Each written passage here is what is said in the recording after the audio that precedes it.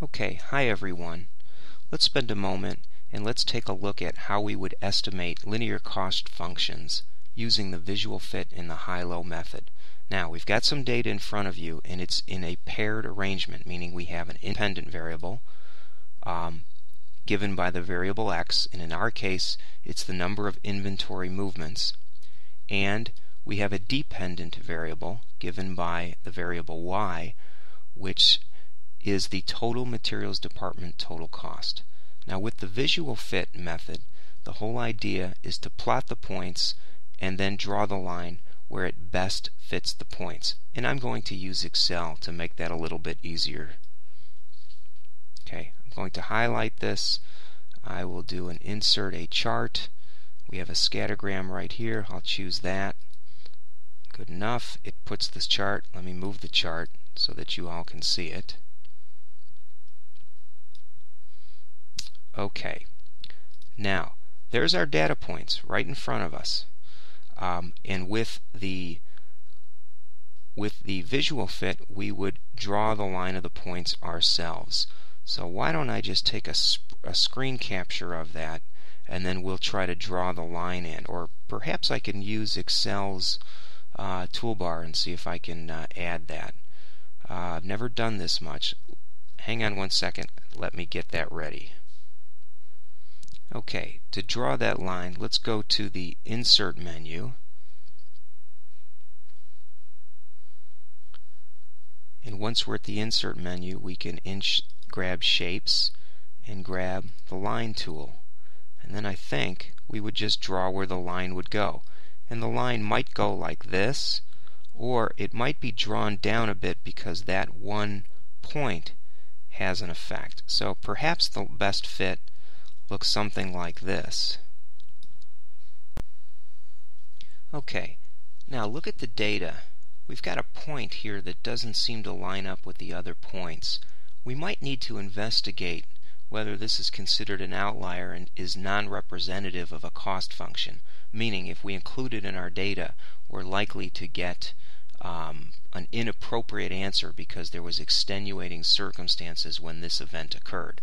Okay, well that that particular data point right there uh, occurred when we had what about oh about 1200 maybe 1100 and the total cost is 12,000 so it's this point right here.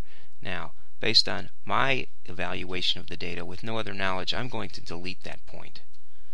And then what happens is I might want to use the visual fit and redraw it. And I think a visual fit of this line looks probably something closer to there. Okay, so there's our visual fit. Now let me slide up a little bit. Let me maybe lock the screen in. Um, that's fine. And I'm going to, actually let's pick two data points or try to estimate where we've got a data point here. Okay, I think right there we've got a data point at about 9,000. So I'm going to put an X. Uh, let me do this here. Make this an X and this a Y. And I'm going to try to fit this line using visual fit. So we'll call 1.1 and 1.2. We'll center this and I think that one point we're going to use and now we're trying to use like the line here. So I'm going to say that it looks like it about at about 1000 actually we could we could draw lines to do this. So we'll grab the shape again we'll grab a line and we'll just draw a line going up like that. Maybe try to move that over 1000 and then we'll draw another line like this. All I'm trying to do is, oh, let me undo that. That's not what I want to do. Insert a line, uh, shape, sorry, and the line off of the shape, and draw it here. And all I'm trying to do is just show how I'm trying to estimate where that point is. Okay, so this side's a little low, but uh, you get the general idea. Okay, this, this probably line needs to come up a little bit. Somewhere Uh, it's hard to bring it up a little bit. A little bit higher. But Excel doesn't want to draw it all that exact. But you see the point. We go up and over, and I'm going to call that about 42,000. Okay, now I'm going to take those lines off because I think they detract a little bit. So sliding down, I think we had an independent uh, variable at 1,000, and it looks like that equated to about 42,000 in costs. And I'm just estimating this with a visual fit, and then I'm going to pick another point in the line. Maybe we'll pick the 2,000 point. I'll slide up, and I think it's about right here as I see it, and that looks about $75,000. Okay, so I'll put 2,000 here and $75,000. Okay, then, course, my y function looks like, takes the form of y equals, uh, I've seen it as mx plus b, uh, and I've also seen it where y equals um, uh, ax plus b. There's lots of ways to, to represent it, but the point is b is the fixed cost, m is the slope in that first one. We'll just stick with that one. Okay, so let's take the difference between these two and see if we can calculate this. Okay, so let's calculate the delta. The delta is, we'll take the two, uh, let me format this a minute. Do the same formatting. That's the formula we want to use. I'll bold that. Um, but let's move that formula out of the way for now. Okay, and the delta will be the 2,000 less the 1,000. And copy this here. You'll see we're going to do the rise over the run, right? y2 minus y1 is the rise, and x2 minus x1 is the run. 33,000 divided by 1,000.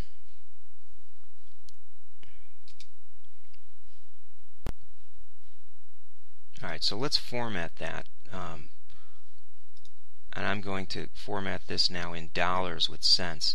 And what that's telling us for every every change in X, we have a 33 increase in material department costs. Okay, but we still need to calculate uh, the fixed cost, which is represented by the B in that formula. Um, and the way you would calculate the fixed cost is you would take that line and just run it until where you think it hits the y-axis, and it looks like it hits at 10,000. Okay, you see how I'm see how I'm doing that, everyone? It crosses about 10,000. So with that, I can now take this formula. We'll put it right here, and we'll say that we think this formula is equal to y equals $33 for every inventory movement plus a fixed cost of $10,000.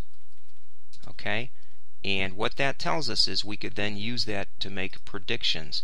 If we think we had $1,500, I'm, I'm going to April and using that as a, a guess. If we think we would have 1,500 inventory movements, we would use this formula to say 1,500 times $33 plus $10,000, and we would make a prediction oh, excuse me, it's just going to tell me I have an error, but it'll know what the error is.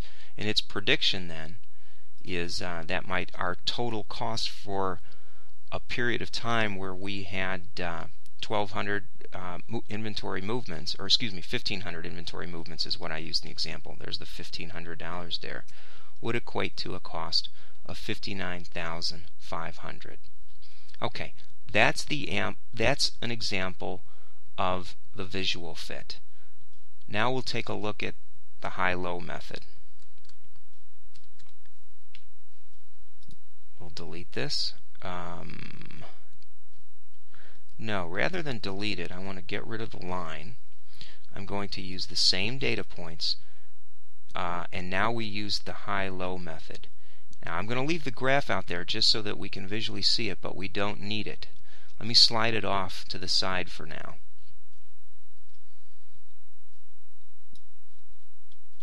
Okay, we'll use the same yx plus b.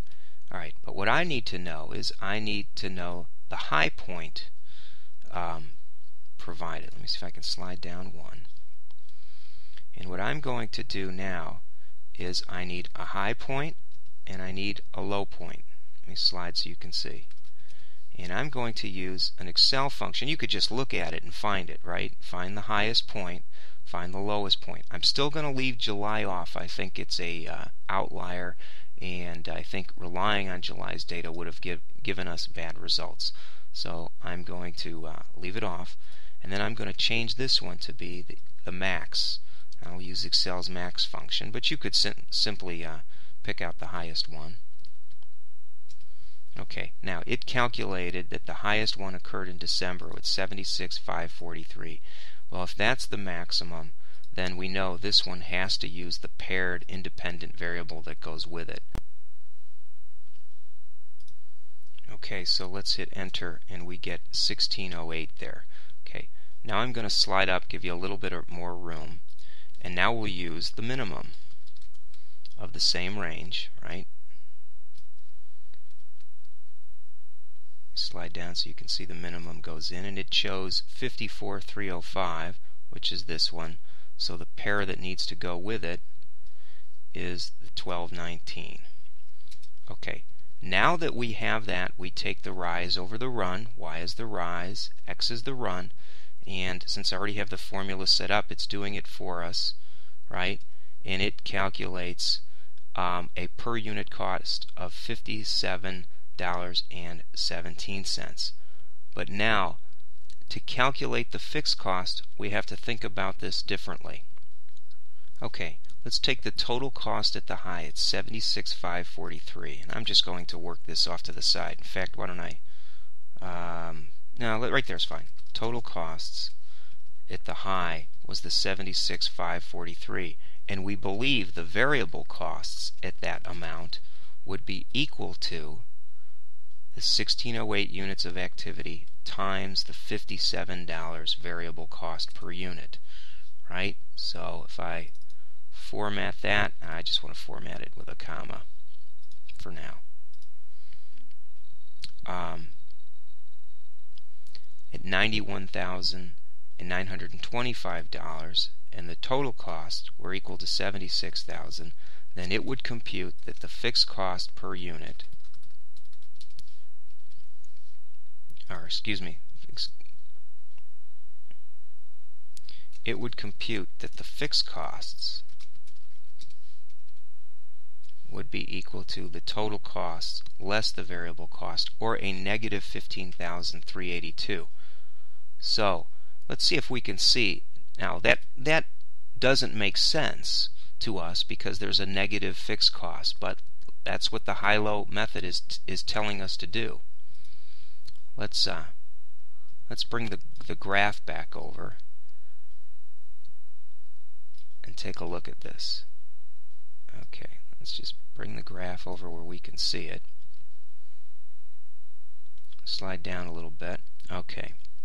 If we were using the high-low method, we're emphasizing the 76 point at 1608, which is that point right there, right? And the low point is the 54,000 right there. If we were to draw a line,